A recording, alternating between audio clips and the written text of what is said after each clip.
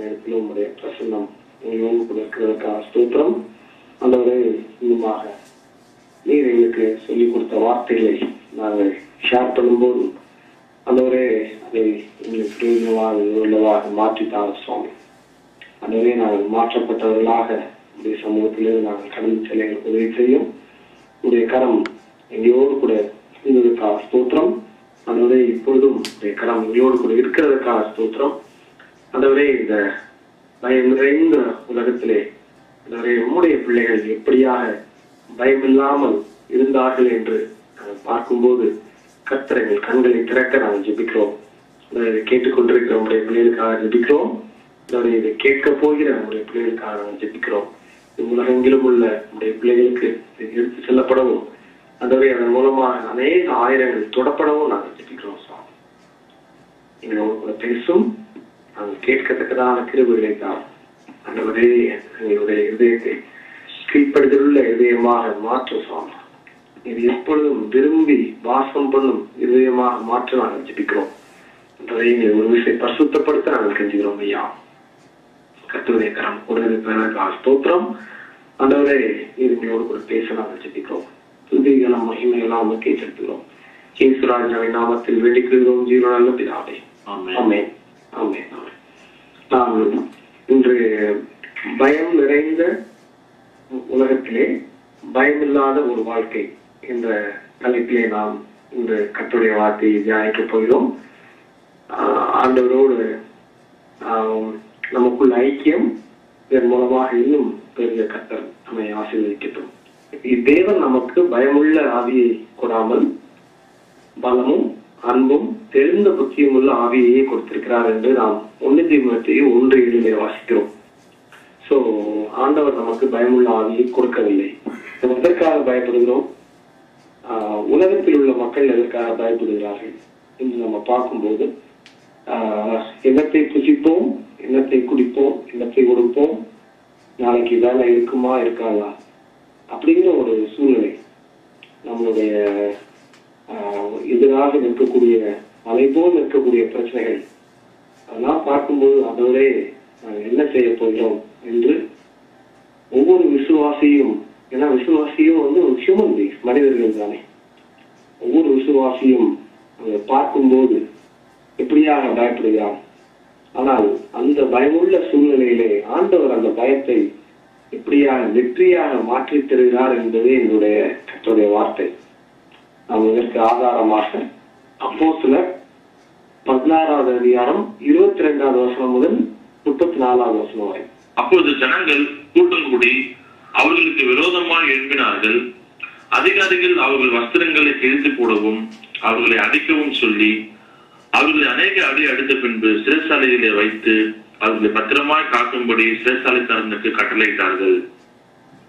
அவன் இப்படிப்பட்ட கட்டளையை பெற்று அவர்களை உட்காவல் அறையிலே அடைத்து அவர்கள் கால்களை தொழில்மரத்தில் மாட்டி வைத்தான். நடுராத்திரியிலே பவுலும் சீலாவும் ஜெபம் பண்ணி தேவனை துதித்து பாடினார்கள். காவலில் வைக்கப்பட்டவர்கள் அதை கேட்டுக் கொண்டிருந்தார்கள். சடுதியிலே சிறைச்சாலையின் அஸ்திபாரங்கள் அசையும்படியாக பூமி மிகவும் அதிர்ந்தது. உடனே கதவுகள் எல்லாம் திறவுண்டது. எல்லாருடைய கட்டுகளும் கழன்று போயிற்று. சிறைச்சாலைக்காரன் நித்திரை தெரிந்து சிறைச்சாலையின் கதவுகள் திறந்திருப்பதைக் கண்டு கட்டுண்டவர்கள் ஓடிப்பார்கள் என்று எண்ணி பட்டயத்தை உருவி தன்னை கொலை செய்து கொள்ள போனான். பவுல் மிகுந்த சத்தம் விட்டு நீ உனக்கு கெடுது ஒன்றும் செய்து கொள்ளாதே நாங்கள் எல்லாரும் இங்கே தான் இருக்கிறோம் என்றான். அப்பொழுது அவன் தெய்வங்களை கொண்டு வர சொல்லி உள்ளே ஓடி நடுநடுங்கி பவுலுக்கும் சீலாவுக்கும் முன்பாக விழுந்து அவர்களை வெளியே அழைத்து வந்து ஆண்டவரை ரட்சிக்கப்படுவதற்கு நான் என்ன செய்ய வேண்டும்? என்றான். அதற்கு அவர்கள் கத்தராகி இயேசு கிறிஸ்துவை விசுவாசி அப்போது நீயும் உன் வீட்டாரம் ரட்சிக்கப்படுவீர்கள் என்று சொல்லி அவனுக்கும் அவன் வீட்டில் இருந்த யாவருக்கும் கர்த்தருடைய வசனத்தை போதித்தார்கள். மேலும் ராத்திரியில் அந்நேரத்தில் தானே அவன் அவங்களை அழைத்துக் கொண்டு போய் அவருடைய காயங்களை கழுவினான். அவனும் அவருடையவர்கள் அனைவரும் உடனே ஞானஸ்தானம் பெற்றார்கள். பின்பு அவன் அவர்களை தன் வீட்டிற்கு கூட்டிக் கொண்டு போய் அவர்களுக்கு போஜனம் கொடுத்து தன் வீட்டார் அனைவரோடும் கூட தேவனிடத்தில் விசுவாசம் உள்ளவனாகி மனமகிழ்ச்சியா இருந்தான் தேவனிடத்தில் விசுவாசம் உள்ளவனாகி மனமகிழ்ச்சியா இருந்தான் ஆண்டவராய் இயேசு கிறிஸ்து சொன்னார் நான் உங்களுக்கு சமாதானத்தை கொடுக்கிறேன். உலகம் கொடுக்கிற பிரகாரமாக நான் உங்களுக்கு சமாதானத்தை கொடுக்கறதில்லை. அப்படின்னு சொன்னாரு. அதே மாதிரி உங்களுக்குள்ள சமாதானம் பெரிதா இருக்கும். அந்த சமாதானத்தை இந்த உலகத்தில் உள்ள யாரும் நம்மை விட்டு எடுத்து போட முடியாது. இதுதான் வந்து ஒரு கிறிஸ்தவனுடைய வாழ்க்கை. பாருங்க இதுல பாத்தீங்கன்னா பவுலும் சீலாவும் அநேக அடிகள் அடிச்சு ரத்தம் வந்து அவர்கள் கால்களை தொழுமரத்தில் மாட்டி வைத்தார்கள். ஆனா அந்த சூழ்நிலையிலையும் அவர்கள் வந்து இருபத்தி ஐந்தாவது வருஷம் பாருங்க. நடுராத்திரியிலே பவுலும் சீலாவும் ஜெபம் பண்ணி தேவனை துதித்து பாடினார்கள். மியூசிக்கல் இன்ஸ்ட்ருமெண்ட்ஸ் எல்லாம் இருந்திருக்குமோ இல்லையோ தெரியல. ஆண்டவராய் இயேசு கிறிஸ்துவை துதித்து பாடினார்கள். காவலில் வைக்கப்பட்டவர்கள் அதை கேட்டுக்கொண்டிருந்தார்கள். பொதுவா வந்து இந்த மாதிரி எல்லாம் வந்து ஜெயில வந்து பாட முடியுமான்னு கூட நம்ம நினைச்சு பாடலாம் ஆனா ஆண்டவரோடு ஏன்னா இயேசு இப்போ வந்து சிறைச்சாலையில போடும்போதும் கர்த்தர் யோசியத்தோடே இருந்தார் என்று நாம் வாசிக்கிறோம். அதாவது பயம் நிறைந்த உலகம் பயமில்லாத ஒரு வாழ்க்கை. தானியலை வந்து சிங்கக்கவியில போடும்போது தானியலோடு கர்த்தர் இருந்தார். பயம் நிறைந்த உலகத்திலே ஒரு பயமில்லாத ஒரு வாழ்க்கை. சாத்ராக் மேஷா காபேத் நேகோ அந்த அக்கினி தீச்சுளையிலே போடும்போது ஒரு முடியும் கருகவில்லை. அதாவது நான் இப்ப ரீசெண்டா ஒரு பாட்டு கேட்டேன். எம்எஸ் ஜெபசிங் அவர்கள் எழுதின பாடல் நெஞ்சம் அஞ்சு வேண்டாம் செய்தி இழுத்தழைப்பீர் உங்களை தொடுகிறவன் அவருடைய கண்மணியை தொடுகிறான். சிங்க கிபியில் எரிந்தார் ஒரு சேதமும் அடையவில்லை. அதே மாதிரி தீச்சுளையில போட்டாங்க. முடி கூட கருதவில்லை ஏன்னா கர்த்தர் நம்மை உள்ளங்கையிலே வரைந்த தேவன். பயம் நிறைந்த உலகம். எல்லாரும் பாத்தீங்கன்னா எல்லாருக்கும் ஒரு ஒரு பயம்.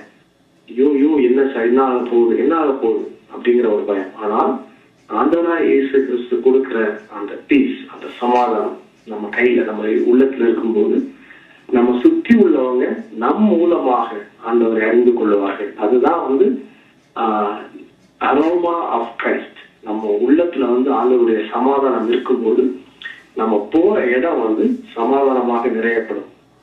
அப்போ இவங்க ஜெபிக்க ஆரம்பிச்சாங்க பாட்டு பாடினாங்க. சடுதியிலே சிறைச்சாலையின் அஸ்திபாரம் அசையும்படியாக. பூமி மிகவும் அதிர்ந்தது. வானத்தையும் பூமியையும் படைத்த தேவனுக்கு இதெல்லாம் லேசான காரியம். கதவுகளெல்லாம் திறவுண்டது ஆண்டவர் நமக்கு முன்பதாக போய் கூடலானவர்களை சரியாக்குகிற தேவன் எத்தனை பேர் நினைத்து பூட்டினாலும் ஆண்டவர் நமக்கு முன்பாக திறந்து வைக்கும்போது அதை யாராலும் பூட்ட முடியாது. திறந்த வாசலை உனக்கு முன்பதாக வைக்கிறேன் என்று சொன்ன தேவன் நம்மை ஆ- நம்ம சுற்றிலும் இருக்கிற பாடுகள் சுற்றிலும் இருக்கிற பிரச்சனை பிரச்சனைகள்லாம் பார்க்கும்போது ஆனால் கர்த்தர் நமக்கென்று ஒரு திட்டத்தை வைத்திருக்கிறார். அவருடைய மாஸ்டர் பிளான் அந்த ஃபவுண்டேஷன் கர்த்தரோடு நாம் இருக்கும்போது கர்த்தர் அதை நிச்சயமாக நிறைவேற்ற வல்லமுள்ளவராக இருக்கிறார். இப்போ கட்டுகள் எல்லாம் கலந்து போயிட்டு பாருங்க.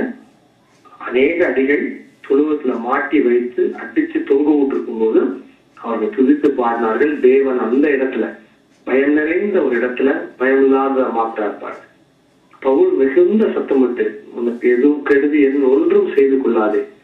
நாங்கள் எல்லாரும் இங்கேதான் இருக்கிறோம் என்றான். எப்படின்னா அந்த அந்த சிறைச்சாலையில வந்து பவுல் இருக்கும்போது அந்த எல்லா கைதிகள் எல்லாரும் ஓடிட்டாங்க அந்த சிறைச்சாலையினுடைய அந்த சேவகர்கள் கொல்லப்படுவார்கள். அதுதான் அந்த அந்த காலத்துல உள்ள சட்டம். அப்போ அந்த இருட்டு இருட்டான இடத்துல தீபங்களை கொண்டு வர சொல்லி ஒரு இருட்டான இடத்துல ஆண்டவர் வந்து நம்மளை வெளிச்சமாக வைத்திருக்கிறார். ஆண்டவராக இயேசு கிறிஸ்து சொன்னார் நீங்களே உலகத்திற்கு ஒளியா இருக்கிறீர்கள். எவ்வளவு பாருங்க ஒளி. நீங்களே உலகத்திற்கு உப்பா இருக்கிறீர்கள். உப்பானது சாரமற்று போனால் எதுனால் சாரமாக்கப்படும்? சோ நம்ம வந்து நம்முடைய கிறிஸ்தவ வாழ்க்கையில சரியாக இருப்போம். ஆண்டவரோடுக்குள்ள ஒரு உறவில நெருங்கி இருப்போம். பாவத்தை பாவத்துக்கு விரோதமாக நாம் கத்துடைய கிருபையினால் எதிர்த்து நிற்போம் சாத்தான் மூடி போவான் என்று நம் ஆண்டவராக இயேசு கிறிஸ்து நாமத்தினாலே நாம் அவரை விசுவாசிக்கிறோம். ஆண்டவர் மாதிரி ரட்சிக்கப்படுவதற்கு நான் என்ன செய்ய வேண்டும்? உடனே அப்போ அவர்கள் கர்த்தா இயேசு கிறிஸ்துவை விசுவாசி அப்பொழுது நீயும் உன் வீட்டாரும் ரட்சிக்கப்படுவீர்கள். அந்த ராத்திரியிலே யாரு அவர்களை அடிக்க சொன்னார்களோ அவர்களே அவர்களுடைய காயங்களை கழுவினார்கள். நீங்களும் உங்க வாழ்க்கையில அதையும் பார்க்கலாம் அதையே பார்க்கலாம். யார் உங்களை ஃபயர் பண்ணணும்னு நினைச்சாங்களோ அவர்களே உங்களை அழைத்து வேலை கொடுக்கக்கூடிய நாட்கள் நெருங்கி வந்து கொண்டிருக்கிறது. தைரியமா இல்லை கத்தருடைய விசுவாசத்திலே உறுதியா இருந்து அவருடைய சமூகத்திலே நாம் மனமகிழ்ச்சியா இருப்போம். நீங்க அடுத்தது பாத்தீங்கன்னா அப்புறம் பதினெட்டாவது அதிகாரம் ஒன்பது பத்து. வாசிங்க பதினெட்டாவது அதிகாரம் ஒன்பதாவது வசனம் அது பத்தாவது ராத்திரியிலே கர்த்தர் பவுலுக்கு தரிசனமாகி நீ பயப்படாமல் மௌனமா இராதே நான் உன்னுடனே கூட இருக்கிறேன். உனக்கு தீங்கு செய்யும்படி ஒருவனும் உன்மேல் கை போடுவதில்லை. இந்த பட்டணத்தில் எனக்கு அநேக ஜனங்கள் உண்டு என்றார். ஆமா. ஆஹ் பவுலுக்கு தரிசனமாய் சொல்லுகிறார். பயப்படாமல் பேசு. ஒண்ணு பேசணும் மௌனமா இருக்க கூடாது ஏன்னா நம்ம வந்து நினைக்கிறோம் ஐயோ நம்ம வந்து பேசலாம் நம்ம வேலைக்கு ஏதாவது ஆயிடுமோ? அவரை நம்மளை பத்தி என்ன நினைப்பாரோ? இவர் நம்மளை பத்தி என்ன நினைப்பாரோ? ஆண்டவர் நம்மை பேச சொல்லும்போது நிச்சயமா நான் பேசுவேன் நான் உடனே கூட இருக்கிறேன் என்று சொன்ன தேவன் உனக்கு தீங்கு செய்யும்படி ஒருவனும் உண்மையில் கை கொடுவதில்லை கர்த்தர் சொல்றாங்க. வானத்தையும் பூமியையும் ஒரு வார்த்தையில உருவாக்கிய தேவன் மனிதரோடு கூட உள்ள அந்த உறவிலே சரி செய்ய வந்த தேவன் இந்த பட்டணத்துல எனக்கு அநேக ஜனங்கள் உண்டு என்றார். அதனால நம்ம தைரியமா இருப்போம். இது வந்து ஒ- ஒவ்வொருத்தருடைய வாழ்க்கையிலும் ஒரு பயம். பயம் நிறைந்த ஒரு வாழ்க்கையிலே ஒரு பயமில்லாத ஒரு தன்மை ஒரு கிறிஸ்துவோடு ஒரு இணைந்த வாழ்க்கை. நம்ம ஆண்டவராய் இயேசு கிறிஸ்துவனுடைய வாழ்க்கையை பார்ப்போமே. யோவான் எழுதின சுவிசேஷம் எட்டாவது அதிகாரம் முப்பத்தி ஒன்று முதல் முப்பத்தி ஆறு வருஷம் வசனம் வரைக்கும். யாராவது வாசிங்க? யோவான் எட்டாவது அதிகாரம் முப்பத்தி ஒன்று முதல் முப்பத்தி ஆறு வரைக்கும். இயேசு தம்மை விசுவாசித்த யூதர்களை நோக்கி நீங்கள் உப- உபதேசத்தில் நிலைத்திருந்தால் மெய்யாகவே என் இருப்பீர்கள். சத்தியத்தையும் அறிவீர்கள் சத்தியம் உங்களை விடுதலையாக்கும் என்றார். அவர்கள் அவருக்கு பதிலமாக நாங்கள் அபிரகாமின் சந்ததியா இருக்கிறோமே இருக்கிறோம். நாங்கள் ஒரு காலம் ஒருவருக்கும் அடிமையாய் அடிமைகளாய் இருக்கவில்லை. விடுதலையாவீர்கள் என்று நீர் எப்படி சொல்லுகிறீர்? என்றார்கள். இயேசு அவர்களுக்கு பிரதிதரமாக பாவம் செய்கிறவன் எவனும் பாவத்துக்கு அடிமையா இருக்கிறான். என மெய்யாகவே மெய்யாகவே உங்களுக்கு சொல்லுகிறேன். அடிமையானவன் என்றைக்கும் வீட்டில் நிலைக்கிறான் குமாரன் என்றென்றைக்கும் நிலைத்திருக்கிறான் ஆகிய குமாரன் உங்களை விடுதலையாக்கினால் மெய்யாகவே விடுதலை ஆவீர்கள் குமாரன் உங்களை விடுதலையாக்கினால் மெய்யாகவே விடுதலை ஆவீர்கள் நம்ம வந்து இன்னைக்கு ஆண்டவர்கிட்ட கேட்போம். நமக்கு வந்து இதை குறித்தாவது நமக்கு ஒரு பயம் இருக்கிறதா? எதிர்காலத்தை குறித்து நம்மளுடைய பிள்ளைகளை இந்த தேசத்திலே நாம் வளர்க்கிறோம்.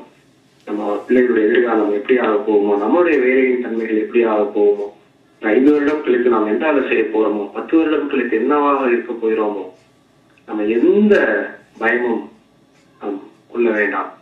அச்சம் தவிர்ப்போம் தைரியம் கொள்வோம் சரித்திரம் சாட்சி சொல்லட்டும். மறுபடியுமாக நான் சொல்கிறேன் அச்சம் தவிர்ப்போம் தைரியம் கொள்வோம். கர்த்தருக்காக நாம் வாழ்ந்து இந்த உலகத்திலே அவர் நமக்கு கொடுத்த வேலையை உத்தம உண்மையாக நாம் முடிப்போம். கடைசி நாட்களுக்குள்ளாக வந்திருக்கிறோம். ஆண்டவராய் இயேசு கிறிஸ்துவனுடைய வருகை எப்பொழுது இருக்கும் என்று யாரும் சொல்ல முடியாது. அல்லது நம்முடைய முடிவு எப்பொழுது வரும் என்றும் யாரும் சொல்ல முடியாது. ஆனால் நாம் ஆண்டவராய் இயேசு கிறிஸ்து முன்பதாக நிற்கும்போது வெறுக்கையாய் அவரை நாம் சந்திக்கவே கூடாது. இதுல நம்ம ரொம்ப கவனமா இருக்கணும். ஆண்டவர் நம்ம கொடுத்த அந்த டார்கெட் அவருடைய சுவிசேஷம் ஆரோக்கியமான சுத்த சுவிசேஷம் உலகெங்கும் அறிவிக்கப்பட நம்மளால் என்ன முடியுமோ அதெல்லாம் நாம் செய்ய கடமைப்பட்டிருக்கிறோம். அதுக்கு ஒருத்தருடைய வாழ்க்கையில கத்தருடைய மகிமை எப்படி வெளிப்பட்டது என்பதை நாம் பார்த்து இந்த வேத ஆராய்ச்சியை நாம் முடிப்போம். யாத்ராகமும் முப்பத்தி மூன்றாவது அதிகாரம் ஒன்பதாவது வசனம் முதல் இருபத்தி மூன்றாவது வசனம் வரைக்கும். யாராவது வாசிங்க?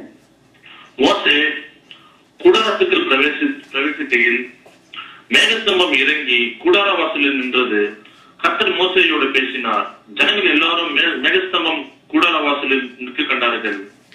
ஜனங்கள் எல்லாரும் எழுந்திருந்து தங்கள் தங்கள் கூடார வாசலில் பணிந்து கொண்டார்கள். ஒருவன் தன் சிநேகிதனோடு பேசுவது போல கர்த்தர் மோசையோடு முகமுகமாய் பேசினார். பின்பு அவன் பாளையத்துக்கு திரும்பினான். நூலின் குமாரனாகிய யோசுவா என்னும் அவனுடைய பணிவிடைக்காரனாகிய வாலிபன் ஆசாருக்கு கூடாரத்தை விட்டு பிரியாதிருந்தான். மோசை கர்த்தரை நோக்கி தேவரி இந்த ஜனங்களை அழைத்துக் கொண்டு போ என்று சொன்னீர். ஆகிலும் என்னோட கூட இன்னாரை அனுப்புவர் என்பதை எனக்கு நீர் அறிவிக்கவில்லை. என்றாலும் உன்னை பேர் சொல்லி அழைத்து அறிந்திருக்கிறேன் என்றும் என் கண்களில் உனக்கு கிருபை கிடைத்தது என்றும் தேவரே சொன்னதுண்டே.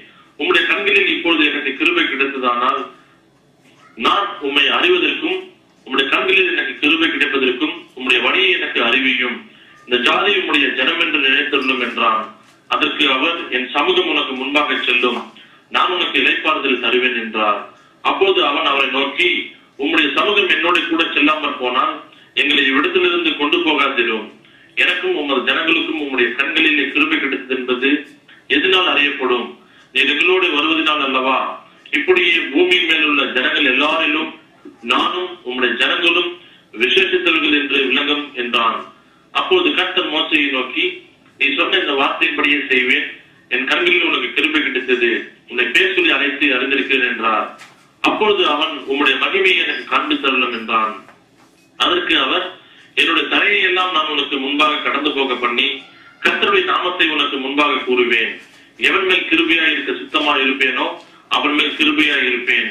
எவன் மேல் இரக்கமா இருக்க சித்தமா இருப்பேனோ அவன் மேல் இரக்கமா இருப்பேன் என்று சொல்லி நீ என் முகத்தை காண மாட்டாய் ஒரு மனுஷனும் என்னை கண்டு உயிரோடு இருக்கக்கூடாது என்றார். பின்னும் கர்த்தர் இதோ என் நண்டையில் ஒரு இடம் உண்டு. நீ அங்கே கண்மலையில் நின்று என் மகிமை கடந்து போகும்போது நான் உன்னை அந்த கண்மலையின் வெடிப்பிலே வைத்து நான் கடந்து போக மட்டும் என் கருத்தினால் உன்னை மூடுவேன். பின்பு என் கருத்தை எடுப்பேன். அப்போது என் பின்பக்கத்தை காண்பாய். என் முகமோ காணப்படாது என்றார். என்றார். நாம் இதற்கு தொடர்ச்சியாக நான் ஒரு வசனத்தை வாசிக்கிறேன். சங்கீதம் தொண்ணூறாவது சங்கீதம். தேவனுடைய மனிதனாகிய மோசையின் ஜெபம். அதுல பாத்தீங்கன்னா ஆண்டவரிடத்தில் மோசே கேட்கிறார். எங்கள் நாட்கள் எல்லாம் ஒரு கோபத்தால் போய்விட்டது. ஒரு கதையை போல் எங்கள் வருஷங்களை கழித்து போட்டோம். எங்கள் ஆயுசு நாட்கள் எழுபது வருஷம் பலத்தின் மிகுதியால் எண்பது வருஷமாக இருந்தாலும் அது மேன்மையானது வருத்தமும் சஞ்சலமுமே. அது சீக்கிரமாய் கடந்து போகிறது. நாங்களும் பறந்து போகிறோம். உமது கோபத்தின் வல்லமையையும் நமக்கு பயப்படத்தக்க விதமாய் உமது உக்கிரத்தையும் அறிந்து கொள்ளுகிறவன் யார்? நாங்கள் ஞானம் இருதயம் உள்ளவர்களாகும்படி எங்கள் நாட்களை என்னும் அறிவை எங்களுக்கு போதித்தள்ளும் என்று ஜெபிக்கிறார் மோசே. இப்பொழுது பாத்தீங்கன்னா அ- பத்தாம் வருஷத்துல ஜெபிப்பது பாத்தீங்கன்னா எழுபது வருஷம் பலத்தின் மீதியால் எண்பது வருஷம். மோசையுடைய வாழ்க்கையை மூன்று பகுதிகளாக பிரிக்கலாம். முதல் நாற்பது வருடம் இரண்டாவது நாற்பது வருடம் மூன்றாவது நாற்பது வருடம். முதல் நாற்பது வருடத்திலே அந்த பேலஸ் அரண்மனையிலே வாழக்கூடிய மோசி இரண்டாவது நாற்பது வருடத்திலே அந்த வனாந்தரத்திலே அந்த ஆடுகளை மேய்த்து கொண்டு வாழக்கூடிய ஒரு வாழ்க்கை அந்த எண்பது வயது முடிந்தது. அவன் நினைச்சிருக்கவே மாட்டார் மோசே. ஒரு அதை பத்தி அவர் ஒரு தாட் லைஃப்ல கூட வந்திருக்காரு. ஆனா அவனுடைய பலனெல்லாம் குறுகி எண்பது வயது ஆகும்போது ஆண்டவர் அந்த பேர்னிங் புஷ் எக்ஸ்பீரியன்ஸ் அந்த யாத்திரா மூணாவது அதிகாரத்துல பாத்தீங்கன்னா அந்த முச்செடியிலிருந்து அஹ், தூதரானவர் ஆண்டவரான இயேசு கிறிஸ்து அவருக்கு தரிசனமாகிறார் அப்போ மோசே மோசே இரண்டு தரம் கூப்பிடுகிறார் அந்த நமக்கு வந்து அந்த ஒரு பேர்னிங் புஷ் எக்ஸ்பீரியன்ஸ் ஆண்டவரோடுக்குள்ள ஒரு ஒரு ஒரு பர்சனல் டச் எல்லாரும் சர்ச்சுக்கு மாதிரி நானும் போனேன் வந்தேன் அப்படிங்கிறது இல்லாம ஆண்டவரோடுக்குள்ள ஒரு உறவு அதாவது நீர் எங்களோடு கூட பேசுகிறீர் நீர் எங்களை நடத்துகிறீர். அந்த ஒரு அண்டர்ஸ்டாண்டிங் நம்ம நம்மளுடைய வாழ்க்கையை அமைத்துக் கொண்டோமானால் எவ்வளவு அதை அதை விட ஒரு சந்தோஷமான ஒரு வாழ்க்கை இந்த உலகத்திலையும் இருக்காதுங்க. அதனால நம்ம அப்படிப்பட்ட ஒரு அனுபவத்துக்குள்ளாக நாம் கடந்து வருவோம். கர்த்தர் வந்து மோசைக்கு தரிசனம் ஆகிறார் இப்போ வந்து மோசைக்கு வந்து எண்பது வயசு. அப்போ அதுக்கப்புறம் ஆண்டவருடைய மகிமையை பார்க்கணும் அப்படின்னு சொல்லி மோசையை கேட்கிறார். இப்ப பாருங்களேன் மோசையுடைய தாட் எப்படி இருந்திருக்கு? மோசை கூடாரத்துக்குள் பிரவேசிக்கையில் மேகஸ்தம்பங்கள் இறங்கி கூடார வாசலிலே நின்றது. கத்தர் மோசையோட பேசினார். ஒரு சிநேகனோடு பேசுவது போல கத்தர் மோசையோட முகமுகமாய் பேசினார் என்று எழுதப்பட்டிருக்கிறது. அது அதுக்கு அடுத்த பாருங்க பாசிட்டான் நெக்ஸ்ட் ஜெனரேஷன் இப்போ நம்ம வந்து ஆண்டவருடைய ஊழியத்தை செய்கிறோம். நாம் ஊழியத்தை செய்யும் போது நம்ம அடுத்த தலைமுறைக்காக நாம் இளைஞர்களை ஆயத்தப்படுத்த வேண்டும். யோசுவா என்னும் அவனுடைய பணிவிடக்காரனாகிய வாலிபன் யூத் ஆசிரிப்பு கூடாரத்தை விட்டு பிரியாதிருந்தான். நமக்கு கர்த்தர் கொடுத்த வார்த்தைகளை நாம் அடுத்த தலைமுறைக்கு எடுத்து செல்கிறோமா என்பதை நாம் கவனித்து பார்க்க வேண்டும். அடுத்ததாக என் சமூகம் உனக்கு முன்பதாக செல்லும். நான் உனக்கு இலைப்பாறுதல் தருவேன். அப்போ உங்களுடைய சமூகம் எனக்கு கூட செல்லாமல் போனால் எங்களை இவ்விடத்திலிருந்து கொண்டு போகாதிருக்கும். இது வந்து ஒரு ஸ்ட்ராங் கமிட்மெண்ட் இப்ப நம்ம என்ன நினைக்கிறோம்? நம்ம நினைச்சதெல்லாம் நடக்கணும் வேண்டும் என்று நினைக்கிறோம். ஆனால் ஆண்டவருடைய சமூகத்திலே காத்திருந்து அவர் நமக்கு எந்த மாதிரியான பாதையிலே அழைத்து செல்ல வேண்டும் என்று விரும்புகிறாரோ அவர் நம்முடைய வாழ்க்கையை எப்படியாக அமைத்துக் கொள்ள வேண்டும் என்று விரும்புகிறாரோ அப்படிப்பட்டதான ஒரு வாழ்க்கைக்குள்ளாக நாம் கடந்து விடுவோம் அப்போ நம்ம வந்து ஆண்டவருடைய கரங்களிலே எழுதப்பட்டிருக்கிறோம். ஆண்டவருடைய கரங்களிலே வரையப்பட்டிருக்கிறோம். நாம் அஹ், வேதாகமத்தின் திவ்ய காட்சிகளை ஜெயக்குமார் சார் எடுத்துட்டு இருக்காங்க அது நான் ஏதாவது மிஸ் பண்ணியிருந்தீங்கன்னா நம்ம ஆன்லைன்ல இருக்கு. அதை நீங்க பாத்துக்கலாம் அதுல ஆண்டவர் வந்து நம்முடைய தோளில் சுமக்கிற தேவன். அந்த நம்ம ஏவாள் தன் மகனை பெற்று தேவனால் ஒரு குமாரனை பெற்றேன் என்று சொல்லும்போது அந்த உபத்திரவத்தின் ஊடாக நடக்கும் போதும் கர்த்தர் ஏவாளோடு கூட நடந்ததை நாம் பார்த்தோம். அதுபோல ஒரு பயம் நிறைந்த ஒரு சூழ்நிலை. அந்த இடத்துல வந்து கர்த்தருடைய பிள்ளைகள் பாத்தீங்கன்னா ஒரு பயமில்லாத ஒரு தன்மை. மோசை என்ன நினைக்கிறார்? நான் எப்படி போவாண்டவர் என்னால முடியாது. இயலாமை. என்னால முடியாது. ஆண்டவர் சொல்றாரு? தனத்தின் மீதியால் எண்பது வருடத்தோட முடிஞ்சது. அதுக்கப்புறம் நாற்பது வருஷம் ஆண்டவர் வந்து மோசையை தூக்கி சமக்க இருப்பார் அப்போ அது மோசையை கேட்கிறார் ஆண்டவரே உடைய மகிமையை எனக்கு காண்பித்தரணும் அப்போ ஆண்டவர் சொல்லுவாரு அந்த கண்மலையின் வெடிப்பிலே வைத்து நான் கடந்து போக மட்டும் என் கரத்தினால் உன்னை மூடுவேன். அந்த கண்மலை கிறிஸ்துவே. அதை நாம் நன்றாக புரிந்து கொள்ள வேண்டும். நம்ம வந்து ஆண்டவருடைய சமூகத்திலே கேட்போம். ஆண்டவர் நமக்கு சொல்லிக் கொடுத்த பாடங்களை நாம் ஒரு நாளும் மறந்து போகக்கூடாது. அப்போ மகிமையை காண்பித்தரலும் என்று சொல்லி மோசை ஜெபித்த போது ஆண்டவர் மோசைக்கு அவருடைய மகிமையை காண்பித்தார். அதுபோல எலியாவுக்கு அடுத்ததாக தேவ மனிதன் எலியா ஒன்னு ராஜாக்கள் பதினேழாவது அதிகாரத்துல பாத்தீங்கன்னா ஆண்டவர் வந்து அந்த கேரி தாற்றங்கரையிலே போயிரு காகங்களுக்கு கட்டளையிடுவேன். இங்கிலீஷ் ஆங்கில வேத வேதாகமத்திலே கமாண்டர் தம் அப்படின்னு சொல்லி போட்டிருக்கு. அதுக்கப்புறம் கேரி ஆறு வந்து வற்றி போயிட்டு. அப்போ வந்து மறுபடியும் வந்து எளியா வந்து ஆண்டவரை நோக்கி கூப்பிடவே இல்லை. இப்போ ஆண்டவர் மறுபடியும் சொல்றாரு பாருங்க ஆங்கில வேதாகமத்திலே instructed a widow to feed you ஆண்டவர் வந்து நம்ம இந்த உலகத்திலே அவருடைய பாதையிலே நடத்தி கொண்டு போகும்போது நமக்கு ஆங்காங்கே ஸ்பான்சர்ஷிப்பை கர்த்தர் ஏற்படுத்தி வைத்திருக்கிறார். நாம் அதை நன்றாக புரிந்து கொள்வோம். சோ எண்ணத்தை புசிப்போம் எண்ணத்தை உண்போம் எண்ணத்தை உடுப்போம் என்ற ஒரு பயம் நிறைந்த உலகத்திலே நாம் கிறிஸ்துவுக்குள்ளாக பயமில்லாத ஒரு வாழ்க்கையை வாழ கற்றுக்கொள்வோம். அதே மாதிரி நம்ம ஒ- ஒவ்வொரு தேவ மனிதர்களுடைய வாழ்க்கையிலும் நீங்க பாத்தீங்கன்னா நோவாவின் நாட்களில் லோத்தின் நாட்களில் நடந்தது போல நடக்கும் என்று அதனால் இயேசு கிறிஸ்து சொன்னார். லூக்கா பதினேழாவது அதிகாரம் இருபத்தி ஆறாவது வசனம் இருபத்தி ஏழாவது வசனம். நீங்க வீட்டுல வாசிச்சு பாருங்க. உலகத்தின் கடைசி நாட்களிலே நாம் வந்து கொண்டிருக்கிறோம். கோவாவின் நாட்கள் நடந்தது போல நடக்கும். நோத்தின் நாட்களிலே நடந்தது போல நடக்கும். நம்ம கவனமா இருக்கணும். ஏன்னா புசித்தார்கள் குடித்தார்கள் நட்டார்கள் எல்லாம் செஞ்சாங்க. ஆனா ஆண்டவரை மறந்துட்டாங்க. நம்ம ஆண்டவரை ஒரு நாளும் நம்ம மறக்கவே கூடாதுங்க. கடைசியாக லூக்கா பதிமூன்றாவது அதிகாரம் முப்பத்தி நான்காவது வசனம். வாசிக்கிறேன். எருசலேமே எருசலேமே தீர்க்கதரிசிகளை கொலை செய்து உன்னிடத்தில் அனுப்பப்பட்டவர்களை கல்லறிகிறவளை கோழி தன் குஞ்சுகளை தன் சிறுகளின் கீழே கூட்டி சேர்த்துக் கொள்ளும் வண்ணமாக நான் எத்தனை தினமோ உன் பிள்ளைகளை கூட்டி சேர்த்துக் கொள்ள மனதா இருந்தேன். உங்களுக்கோ மனதில்லாமல் போயிற்று. டெலிவரன்ஸ் ஆண்டவர் வந்து நம்மை ஒரு நோக்கத்திற்காக பிடித்திருக்கிறார். அப்போ நாம் ஆண்டவருடைய திட்டங்களை அறிந்து அவருடைய சித்தங்களை அறிந்து நாம் அவரோடு கூட வாழ கற்றுக்கொள்ள வேண்டும். ஏன்னா ஆண்டவர் வந்து எத்தனையோ தடவை நான் வந்து உங்களை கூட்டு பார்த்தேன். நீங்க வரலன்னு சொல்லி ஆண்டவர் சொல்லிடக்கூடாது. நாம் கவனமா இருப்போம். கர்த்தருக்குள்ளாக தைரியப்படுவோம். நம்ம வந்து இந்த அந்த மெசேஜோட டைட்டிலே பயமில்லாத ஒரு வாழ்க்கை பயம் நிறைந்த உலகத்திலே கர்த்தரோடு அப்படின்னு சொல்லி தான் நான் கொடுக்கறதே ஒரு உதவி செய்தார் இங்கிலீஷ்ல பாத்தீங்கன்னா fearless living in the fearful world no fear because Jesus lives fearless church fearless family praise for courage நம்ம வந்து எப்பொழுதுமே வந்து ஆற்றும் தேற்றும் என்று ஜெபிப்பதை விட ஆண்டவரே எங்களுக்கு ஒரு கரேஜியஸ் ஹார்ட் தைரியப்படுத்தும் என்று நாம் கேட்போம். பெர்சிக்யூஷன் பாத்தீங்கன்னா இன்னைக்கு நம்ம ஜெபித்தது போல பாகிஸ்தான் எரிட்ரியா ஈஜிப்ட் இதெல்லாம் பாத்தீங்கன்னா இவங்க படுற பெர்சிக்யூஷன்ல நம்ம ஒரு மடங்கு கூட இன்னும் பட ஆரம்பிக்கல. கருத்துக்குள்ளாக நாம் தைரியமாயிட்டோம் தொடர்ந்து நாம் கருத்துக்குள்ளாக வாழ்வோம். நாம் ஜெபித்து முடிக்கலாம். என் நன்றி ஆண்டவரே உங்களுடைய பசுத்த வார்த்தைகளை எங்களை தந்ததற்காக ஸ்தோத்திரம். அந்தவரே நீர் மூசையின் வாழ்க்கையிலே நீர் செயலாற்றின தேவன். நீங்க தானியனுடைய வாழ்க்கையிலே செயலாற்றின ஒரு தேவன். சாத்ராக் மேஷா காபேத்னேகருடைய வாழ்க்கையிலே செயலாற்றின தேவன். அந்தவரே பவுலினுடைய வாழ்க்கையிலே நீ செயலாற்றின தேவன் சுவாமி. ஏதனுடைய வாழ்க்கையிலே செயலாற்றின தேவன். நீ சிறைச்சாலையில இருந்து ஆண்டவரே சகலத்தையும் ஒரு பயம் நிறைந்த ஒரு இடத்துல இருந்து ஒரு பயமில்லாத ஒரு சூழ்நிலைக்கு மாற்றின தேவன். அது எப்படியாக தாவீது ஒரு கோலியாத்தை கண்டு பயப்படவில்லையோ? அந்தவரை எப்படியாக ஒரு தானியல் சீனியங்களை கண்டு பயப்படவில்லையோ?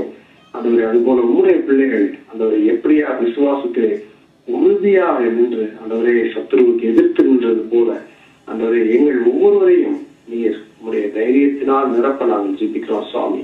அந்தவரை இந்த உலகத்திலே நீர் எங்களுடைய தலை முடியெல்லாம் எண்ணப்பட்டிருக்கிறது என்று சொன்ன தேவன். எனவே நாங்கள் ஒவ்வொரு நாளும் எண்ணத்தை புசிப்போம் எண்ணத்தை உடுப்போம் எண்ணத்தை குடிப்போம் என்று இந்த உலகத்திற்காகவே நாங்கள் கவலைப்பட்டுக் கொண்டிருக்கிறான்படிக்கு அதுவே எங்களுடைய ஆத்துமாவை கொடுத்ததான ஒரு சிந்தை அதுவே கிறிஸ்துவின் சிந்தையிலே நான் நினைத்திருக்க இல்லை பலப்படுத்த சுவாமி. மீதியான வெளியே எங்களோடு கூட இருங்க. தொடர்ந்து எங்களோடு கூட பேசுங்க சுவாமி. மோசை எப்படியாக ஜெபித்த போது அதுவரே உடைய மகிமையை காண்பித்தரலும் என்று சொன்ன தேவன் கண்மலையாகிய கிறிஸ்துவுக்குள்ளாக வைத்து மூடினீரே சுவாமி. உடைய மகிமை எங்களுடைய வாழ்க்கையிலே பிரகாசிக்க பண்ணும் நாங்கள் செல்லுகிற இடங்களிலெல்லாம் உமக்காக அதுவரை இருந்து பிரகாசிக்கிற விளக்காக இருக்க உதவி செய்யுங்க சுவாமி. எங்களை பலப்படுத்தும். அதனுடைய பவுலின் தெய்வனே அதுவரை எப்படியா ஒரு தைரியத்தை கொடுக்கிறே சுவாமி? மௌனமாயிராதே பயப்படாது தைரியமாய் பேசு. இந்த பட்டணத்தில் எனக்கு அநேக ஜனங்கள் உண்டு என்று சொன்ன தேவன் அதனை ஒவ்வொரு நோக்கத்தோடு ஒவ்வொரு பட்டணங்களிலே வைத்திருக்கிறேன் சுவாமி. இந்த நோக்கங்களை நாங்கள் அறிந்து அதற்கென்று நாங்கள் வாழ அதனை என்னை தைரியப்படுத்த சுவாமி. இந்த பயம் நிறைந்த ஒரு உலகத்திலே ஒரு பயமில்லாத ஒரு வாழ்க்கை. இந்த ஒரே உங்களுடைய சீடர்கள் வாழ்ந்தது போல உமக்கு பயந்த உங்களுடைய பிள்ளைகள் வாழ்ந்தது போல தீர்க்கதரிசி எலியா எலிசா வாழ்ந்தது போல ஒரே நாங்கள் அனுதினமும் உங்களுடைய சமூகத்திலே காத்திருந்து இந்த வாழ்க்கையை அமைத்துக் கொள்ள உதவி செய்யுங்கப்பா. பெரிய அதிசயங்களை துதி கனமயமெல்லாம் உமக்கே செலுத்துகிறோம் ஈஸ்வராஜா நாமத்தில் எழுதி கொள்கிறோம் ஜீவ நல்ல பிதாவே. ஆமென். ஆமென். ஆமென். ஆமென்.